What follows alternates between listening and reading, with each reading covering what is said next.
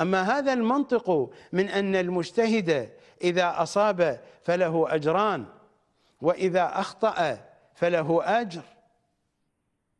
هذا منطق عزة الدوري أتذكر لما أكملوا كتابة القرآن بدم صدام من النجس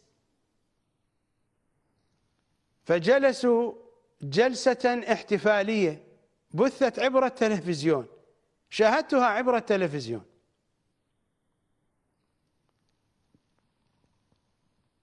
فتحدث صدام مع أعوانه مع الوزراء مع المسؤولين الذين كانوا حضارا في تلك المناسبة في تلك الجلسة.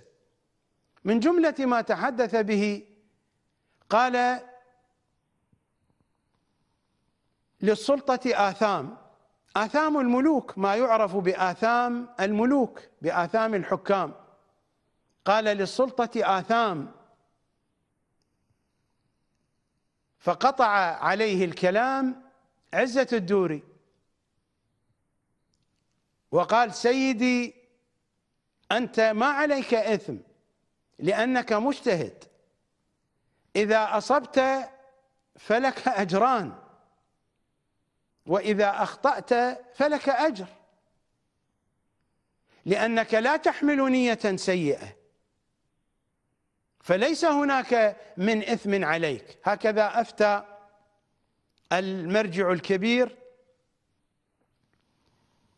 عزة أبو الثلج.